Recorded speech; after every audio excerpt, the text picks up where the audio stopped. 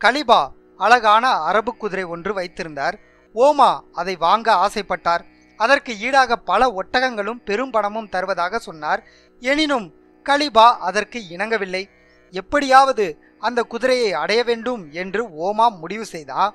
Khalifa குதிரையில தினமும் சவாரி செய்யும் பாதையில ஒரு நாள் அவன் அழுக்கு உடைகளுடன் குப்புற விழுந்து கிடந்தான் அந்த வழியாக வந்த கலிபா பாதையோரம் விழுந்து கிடந்த அவனை கண்டு பரிதாபப்பட்டாரு. இறங்கி வந்து அவனை தூக்குனாரு. ஓமா முணங்குனா ஐயோ நான் பல நாட்களாக பட்னி கிடக்கிறேன் என்னால் நிற்கக்கூட முடியவில்லை அப்படின்னு சொல்றான்.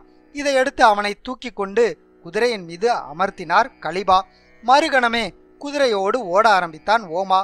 திகைத்து போன கலிபா சட்டென்று தன்னை சுதாரித்து கொண்டார். அதற்குள் ஓமா வெகு தொலைவிற்கு போய்விட்டான்.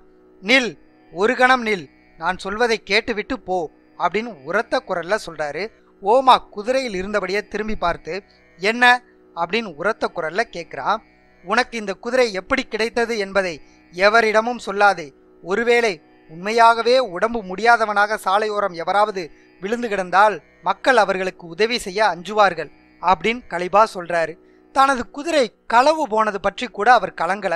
மக்களிடையே இது போன்ற செய்திகள் பரவினால் மற்றவர்களுக்கு உதவி செய்பவர்கள் இல்லாமல் போய்விடுவார்களே என்றுதான் அவர் வருந்தினார். மனிதனின் தனித்தன்மை வாய்ந்த உணர்வுதான் அவனுடைய பிறப்புக்கான மூல காரணமாக இருக்கு அப்படிங்கிறது சூஃபி காட்டும் சித்தாந்தம். இந்த தனித்தன்மை வாய்ந்த உணர்வு அண்டங்கள் சார்ந்த ஒன்றுக்குள் செல்கிறது.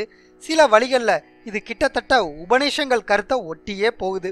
ஆனால் நிர்வாணா போல் பானா இல்லை. இரண்டும் தனித்தன்மை அகன்று விடுவதை குறிக்கின்றன. பானா பாக்காவுடன் சேர்ந்து வருகிறது. பாக்கா என்பது கடவுளிடத்தில் நிலைத்திருக்கும் வாழ்க்கை. அளவற்ற உணர்வுகள் விருப்பங்களின் முழு அழிவை பானா தனக்குள் கொண்டிருப்பதாகும். உண்மையிலேயே சூஃபிசம் என்பது முழுமையான தற்கட்டுப்பாடு. எதையும் நாம் பெற்றிருக்க கூடாது எதுவும் நம்மை பெற்றிருக்க கூடாது என்றுதான் இதில் விளக்கப்படுது.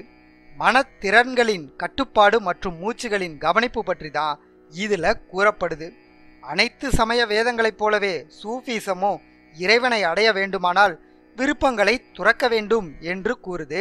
தன் உறுதிப்பாட்டை அழித்து விடும்படி கூறுது. எனினும் அதனை ஒரு நீதியாகவோ கோட்பாடு மற்றும் சடங்குகளாகவோ வலியுறுத்தவும் இல்லை திணிக்கவும் இல்லை.